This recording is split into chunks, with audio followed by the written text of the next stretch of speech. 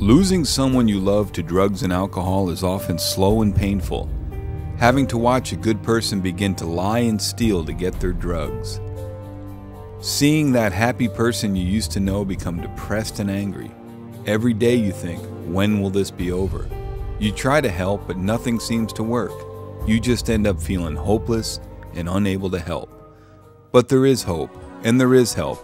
The truth is, an addicted person can regain their happiness. They can regain their pride. The truth is, an addicted person can regain a healthy, productive life.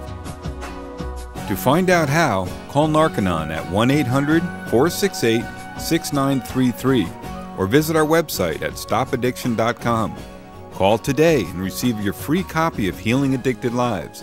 Call Narconon now at 1 800 468 6933 or visit our website at stopaddiction.com.